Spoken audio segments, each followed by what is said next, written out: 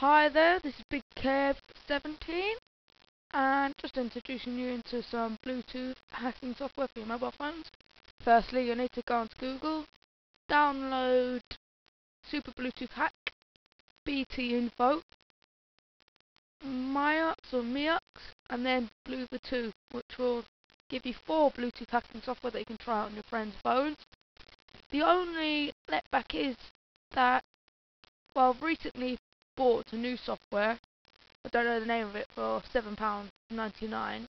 well, it does something very good that this these four don't. These four good to try on your friends. You can say, here, do you want to, you know, just let me do this. But a message appears on their phones. So you can't do it to strangers. The software I've bought, which maybe I'll be able to make another video, but I've just bought it for eight, seven ninety nine. Apparently, it does no message appears on their phone. I'll be able to get into anyone's phone, hopefully, without them knowing.